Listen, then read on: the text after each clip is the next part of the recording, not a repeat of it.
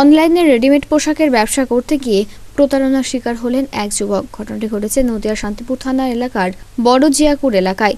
ওই এলাকার বাসিন্দা বাপি বিশ্বাসের অভিযোগ, চলতি মাসের ছ তারিখে রাজস্থানের বালুয়ার একতা টেক্সটাইল কোম্পানিতে কর্মরত রাজ নামে এক ব্যক্তিকে একাশি হাজার আটশো চল্লিশ টাকার রেডিমেড পোশাকের অর্ডার দেয়। একুশ তারিখ হতে গেলেও তার অর্ডার করা সামগ্রী পৌঁছায়নি বলে অভিযোগ। বাপি বিশ্বাস জানান, ওই ব্যক্তির সাথে যোগাযোগ করা যাচ্ছে না। অভিযোগ হচ্ছে আমি গত ছ তারিখে বালুত্রা যেটা, বালুত্রা একটা টেক্সটাইল যেটা আছে, একটা টেক্সটাইলে আমি টাকা টাকা লাগাই। টাকা লাগালে পরে ওনারা যেরকম পার্সেল করে টোকেন নাম্বার যেটা ডকেট নাম্বার যাগুলো আছে সব কিছু আমাকে পাঠায়। কিন্তু ছ তারিখ থেকে আজকে হয়ে গেল কুড়ি একুশ তারিখ।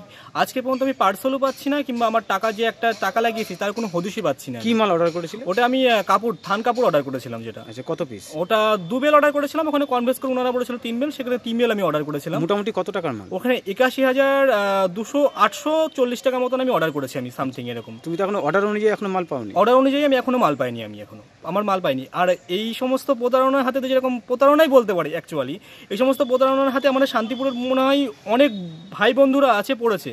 অ্যাকচুয়ালি অ্যাট ফার্স্ট আমি এরকম একটা স্টেপ নিতে চলেছি শান্তিপুর থানায় এসে। তো আমি বলব প্রপারলি আমাদের শান্তিপুর থানা আমাকে গাইড করে যেন একটু হেল্প করে যেন আমি টাকাটা কিংবা যেন আমাদের মালটা যেন আমি হাতে পাই। তুমি যখন মাল অর্ডার করলে তার আগে কি টাকা পেমেন্ট করতে হয়? হ্যাঁ এখনকার লকডাউনের পর থেকে যে সিস্টেমটা মাল অর্ডার করার সঙ্গে সঙ্গে টাকাটা পেমেন্ট করতে হয়। আর টাকা পেমেন্টের যে সিস্টেমটা রয়েছে সেটা হচ্ছে গিয়ে আগে যারা বিলটা পাঠায় জিএসটিটা জিএসটি ভেরিফাই করার পরে আমি টাকাটা পাঠাই। প্রপারলি অ্যাড্রেস প্রপারলি যা বিল টিল যা কিছু আছে সব কিছু দেখার পরে কিন্তু টাকাটা পে করি। আর ওনার সমস্ত কিছু ডিটেলস আমার কাছে রয়েছে অ্যাকাউন্ট ডিটেলস থেকে শুরু করে ফোনপে গুগল পে নাম্বার তুমি যার কাছ থেকে যাকে তুমি টাকাটা পেমেন্ট করেছ কি একজন ব্যক্তি? হুম, সে অনলি আমাকে একজনাই গাইড করছিল। একজনে গাইড করছে হ্যাঁ নাম নাম কি জানতে পেরেছে? নাম বালুত্রা রাজ বলেছিল উনি ঠিক আছে রাজ নাম বলেছিল ঠিক আছে। বাড়ি কোথায়? বাড়ি হচ্ছে বালুত্রা। বারোতরা কোথায়? কোন স্টেটের মধ্যে বালুত্রা রাজস্থানের মধ্যে পড়ছে এটা বালুত্রা। রাজস্থানের মধ্যে। রাজস্থানের মধ্যে। তো এর আগেও কখনো লেনদেন করেছিলে তুমি? এর আগে বলতে অন্য জায়গায় লেনদেন করেছিল এখানে অ্যাট ফার্স্ট আমি। এখানে। তা সেখানেই প্রতারণা? এই সেখানেই প্রতারণা। তুমি কি এটা প্রতারণার প্রতারণার অভিযোগ করছ? হ্যাঁ প্রতারণার আমি অভিযোগ করছি কাগজপত্র নিয়ে আমি থানায় জমা করছি দেখি থানার রেজিস্ট্রারিরা যতটা আমাকে গাইড করার চেষ্টা করে সাপোর্ট আমি অবশ্যই চাইছি এনাদেরকে হেল্প করবে অবশ্যই।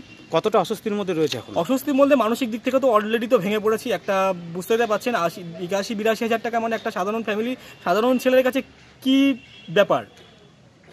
ব্যবসায় কি তুমি প্রথম নাকি এর আগে ব্যবসা করতে? এর আগে আমাদের ব্যবসা তিন চার বছর ধরে ব্যবসা করে আসছি আমরা ঠিক আছে? বিগত অনেকদিন ধরে ব্যবসা করে আসছি। এই অ্যাট ফার্স্ট এরকম আমার সঙ্গে এরকম হলো। প্রথমেই তোমার সাথে প্রতারণা? প্রথমেই প্রতারণা এলো।